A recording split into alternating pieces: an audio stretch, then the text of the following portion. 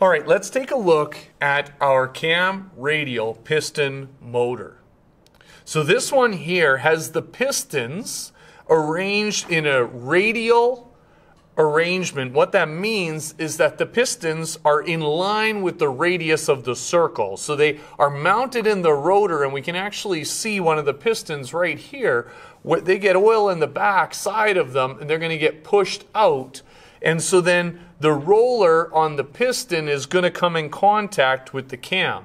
Okay, so we're seeing the cam, the rotor, the piston, and a roller. So we have a cam, radial, piston, motor.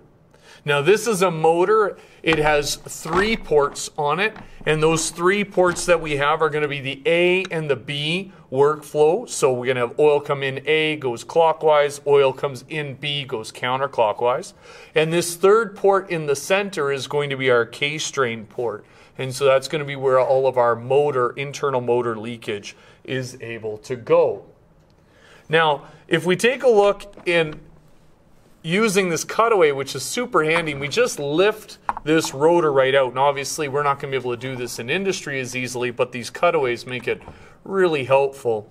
We can see that this piston is able to go in and out of the rotor. Now, this oil is getting in the back side of the piston to cause that piston to go out. And on the end of the piston is a roller, and that roller is actually making contact with the cam. And as it makes contact and slides down the ramp of the cam, the entire rotor is able to move. Now, there's not just one piston in this rotor, but there's actually multiple pistons in this rotor.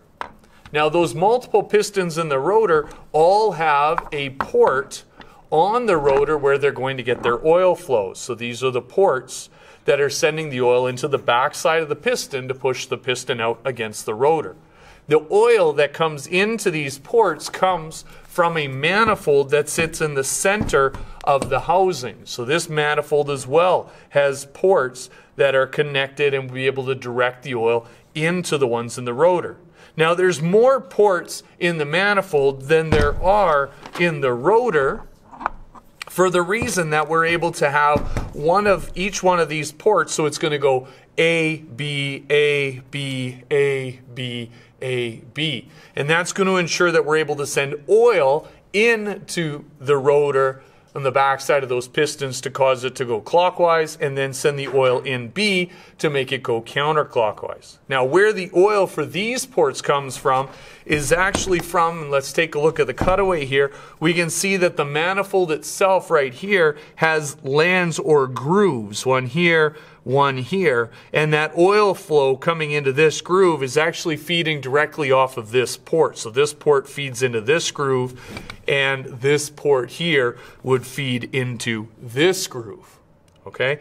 And so now this hole right here, we can actually see directly goes to this hole in the manifold. So that's how we're able to direct oil from the A and B port into their specific spot in their manifold.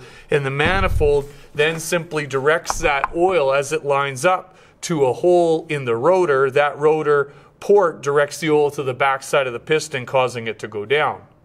And so now what we'll see is that we'll have half of our pistons will be getting oil to go out and cause the rotor to turn, and the other half of our pistons will actually be on the retract mode of this cam, and that's going to be sending the oil to the drain port or to the low pressure of the A or B. So the way this motor achieves its volumetric efficiency is using a high pressure seal on this piston right here. So that follows along with the piston as it goes in and out with hydraulic oil coming behind it under pressure. Now this one moves quite easily uh, because it's been sanded down to fit easier in the bore, but otherwise it would be normal for this to be fairly snug, and you can see it pops out. Now I won't be able to put it back in unless I compress that ring, give it a wiggle, and I should be able to get that to pop back into place, just like that.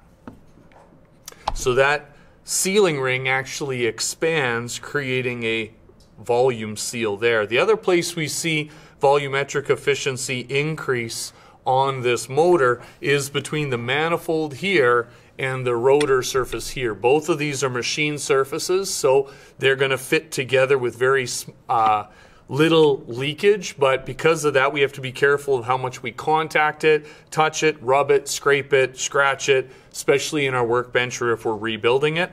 And the way this sealing surface stays in contact is by the spring pressure that sits on the bottom side of the manifold. So if I flip this over, we can knock the manifold out just like that. And what we'll see on the bottom side of the manifold is actually a set of coil springs that are going to push this manifold away from this rear housing on the bottom here. And so that maintains the contact between this manifold sealing surface and the rotor sealing surface all the time. So that's how we're able to get the hydraulic oil in and through and keep it sealed. Now, for overall efficiency in this motor, we see that with this roller being mounted on the end of the piston, we reduce the frictional losses that would come from sliding a fixed piston against a fixed cam ring and instead it's going to be able to roll. And the lubrication that is inside of the motor from case drain leakage is going to be what's lubricating this piston roller. So we see that there's a bushing on the end of the piston. This roller fits right in there, and then the lubrication is going to come from the case drain oil.